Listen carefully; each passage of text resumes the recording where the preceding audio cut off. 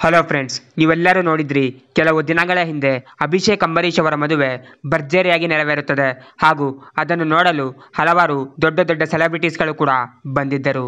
ಎಲ್ಲ ನಟರು ಬಂದು ಅವರಿಗೆ ಶುಭ ಆಗಲಿ ಅಂತ ಹಾರೈಸಿದರು ಹಾಗೂ ದುಬಾರಿ ಗಿಫ್ಟ್ಗಳನ್ನು ಕೂಡ ಕೊಟ್ಟಿದ್ರು. ಅದನ್ನು ನೋಡಿದ ಅಭಿಷೇಕ್ ಅಂಬರೀಷ್ ಅವರು ತುಂಬಾನೇ ಖುಷಿಯಾಗಿದ್ರು ಹಾಗೂ ಅವರನ್ನು ನೋಡಲು ಬಂದ ಎಲ್ಲ ನಟರಿಗೆ ಧನ್ಯವಾದಗಳನ್ನು ಕೂಡ ಅಭಿಷೇಕ್ ಅಂಬರೀಷ್ ಅವರು ತಿಳಿಸಿದ್ರು. ಅದರಲ್ಲೂ ಎಲ್ಲರ ಗಮನ ಸೆಳೆದಿದ್ದು ಅಭಿಷೇಕ್ ಅಂಬರೀಶ್ ಮತ್ತು ಡಿ ಬಾಸ್ ಅವರ ಜೋಡಿ. ಹೌದು, ಅವರಿಬ್ಬರು ಜೊತೆಗೆ ಸಖತ್ತಾಗಿ ಡ್ಯಾನ್ಸ್ ಸ್ಟೆಪ್ಸ್ ಅನ್ನ ಕೂಡ ಹಾಕಿದ್ರು. ಅದನ್ನು ನೋಡಿದ ಎಲ್ಲ ಅಭಿಮಾನಿಗಳು ತುಂಬಾನೇ ಖುಷಿಯಾಗಿದ್ರು. ಇದಾದ ನಂತರ ಇತ್ತೀಚೆಗೆ ಅಭಿಷೇಕ್ ಅಂಬರೀಶ್ ಅವರು ಹನಿಮೂನ್ಗೆ ಹೋಗ್ಬೇಕಂತ ಡಿ ಬಾಸ್ ಅವರ ಬಳಿ ಲ್ಯಾಂಬೋರ್ಗಿನಿ ಕಾರನ್ನ ಕೇಳ್ತಾರೆ. ಆಗ ಡಿ ಬಾಸ್ ಅವರು ಸ್ವಲ್ಪ ಸಿಟ್ಟಿನಿಂದ ಒಂದು ಮಾತನ್ನ ಹೇಳ್ತಾರೆ. ಅದೇನಂದ್ರೆ, ನೀನು ಮೊದಲು ಹೆಂಡತಿಯನ್ನ ಚೆನ್ನಾಗಿ ನೋಡ್ಕೋ. ನಿನಗೆ ಯಾವ ಕಾರ್ ಬೇಕು ನಾನೇ ಕೊಡ್ತೀನಿ ಅಂತ ಡಿ ಬಾಸ್ ಅವರು ಹೇಳ್ತಾರೆ. ನಿಮ್ಗೆಲ್ಲರಿಗೂ ಗೊತ್ತಿರ್ಬೋದು ಅಭಿಷೇಕ್ ಅಂಬರೀಷ್ ಮತ್ತೆ ಡಿ ಬಾಸ್ ನಡುವೆ ಮುಂಚೆಯಿಂದನೂ ಕೂಡ ಇದೇ ರೀತಿ ಗುರು ಶಿಷ್ಯ ಸಂಬಂಧ ಚೆನ್ನಾಗಿಯೇ ನಡೆದು ಬಂದಿದೆ.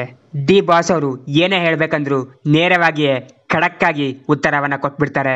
ಅಭಿಷೇಕ್ ಅಂಬರೀಷ್ ಅವರು ಅದೇ ಕಾರಣಕ್ಕೆ ಡಿ ಬಾಸ್ ಅವ್ರನ್ನ ಬಾಸ್ ಅಂತಾನೆ ಕರೆಯುತ್ತಾರೆ. ಇಷ್ಟೆಲ್ಲ ಹೇಳಿದ ಬಳಿಕ ಅಭಿಷೇಕ್ ಅಂಬರೀಷ್ ಅವರಿಗೆ ಡಿ ಬಾಸ್ ಅವರು ಲ್ಯಾಂಬೋರ್ಗಿನಿ ಕಾರನ್ನ ಕೊಟ್ಟು ಕಳಿಸ್ತಾರೆ.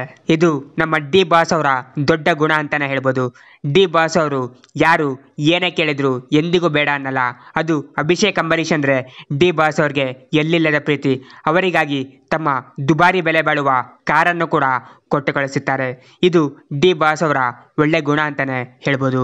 ಇದರ ಬಗ್ಗೆ ನಿಮ್ಮ ಒಪಿನಿಯನ್ ಏನು ಕಮೆಂಟ್ ಬಾಕ್ಸಲ್ಲಿ ತಿಳಿಸಿ.